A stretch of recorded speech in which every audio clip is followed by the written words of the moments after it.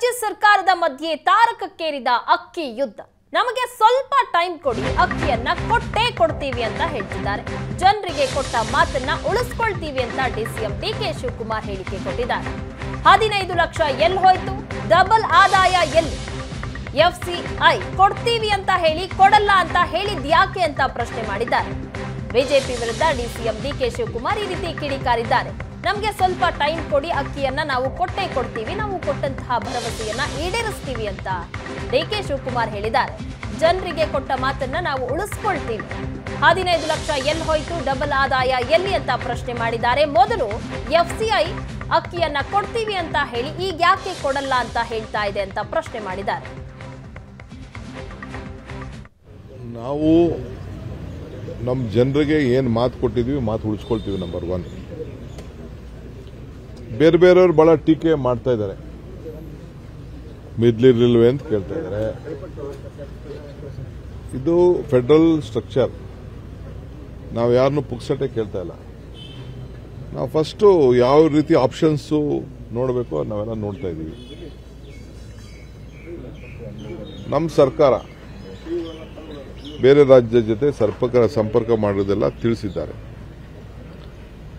ಈಗ ಮೆದ್ಲಿರಲ್ವೇ ಅಂತ ನಮ್ಮ ಶೋಭಾಕ ಮಾತಾಡಿದ್ದಾರೆ. ಈಗ ಹದಿನೈದು ಲಕ್ಷ ಕೊಡ್ತೀವಿ ಅಂತ ಹೇಳಿದ್ರಲ್ಲ ಎಲ್ಲರಿಗೂ ಅಕೌಂಟ್ಗೆ, ಆದಾಯನ ಡಬಲ್ ಮಾಡ್ತೀವಿ ಅಂತ ಹೇಳಿದ್ರಲ್ಲ, ರೈತರ ಆದಾಯ, ಉದ್ಯೋಗ ಕೊಡ್ತೀವಿ ಅಂತ ಹೇಳಿದ್ರಲ್ಲ ಕಪ್ಪಣ ತತ್ತೀವಿ ಅಂತ ಹೇಳಿದ್ರಲ್ಲ, ಯಾಕೆ ಮಾತಾಡಿದ್ರು ಅವೆಲ್ಲ? ಅವೆಲ್ಲೇನು ಅವರ ವಾಕ್ಯಗಳು, ಅವರ ನುಡಿಮುತ್ತುಗಳಲ್ವ ಅವೆಲ್ಲ? ನಮ್ಮ ಅಕ್ಕಂದು ಆಗಲಿ, ಯಾರಾಗಲಿ ನಿಮ್ಮ ಪಾರ್ಟಿ ಹೆಂಗಿದೆಯೋ ನಮ್ಮ ಪಾರ್ಟಿ ಇನ್ನೂ ಸ್ವಲ್ಪ ವಿಭಿನ್ನವಾಗಿದೆ. ನಾವು, ನೀವು ಐದು ವರ್ಷ ಆದರೂ ನಿಮ್ಮ ಮ್ಯಾನಿಫೆಸ್ಟೋಲ್ಲಿ ಏನೇನು ಮಾತು ಕೊಟ್ಟಿದ್ರಿ, ಒಂದು ಲಕ್ಷ ಸಾಲ ಮನ್ನಾ ಮಾಡ್ತೀವಿ ಅಂತ ಹೇಳಿದ್ರಿ. ನಿಮ್ಮ ಕೈಯಲ್ಲಿ ಮಾಡೋಕ್ಕಾಗಿಲ್ಲ, ಬಟ್ ನಾವು ಮಾಡ್ತಾ ಇದ್ದೀವಿ.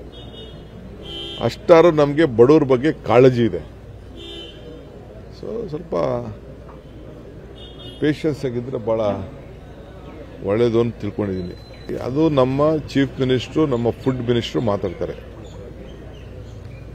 ನಾವು ಇಂಪ್ಲಿಮೆಂಟ್ ಮಾಡೇ ಮಾಡ್ತೀವಿ. ಅದಕ್ಕೆ ಇಟ್ ಮೆ ಟೇ ಮೇಕ್ಸ್ ಲಿಟ್ಲ್ ಬಿಟ್ ಯಾಕೆಂದ್ರೆ ಈಗ ಫಸ್ಟು ಇದ್ದಕ್ಕಿದ್ದಾಗೆ ಕೊಡ್ತೀವಿ ಅಂತ ಹೇಳಿದ್ರು. ಅನ್ಅಫಿಷಿಯಾಗಿ ಮೊದಲೇ ಕೊಡ್ತೀವಿ ಅಂತ ಹೇಳಿದ್ರು. ಅಫಿಷಿಯಲ್ ಆಗಿ ಕೊಡ್ತೀವಿ ಅಂತ ಹೇಳಿದ್ರು.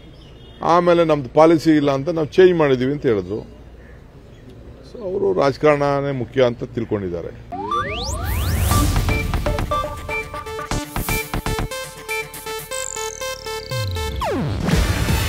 ಇದು ಏಷ್ಯಾನೆಟ್ ನ್ಯೂಸ್ ನೆಟ್ವರ್ಕ್ ಪ್ರಸ್ತುತಿ.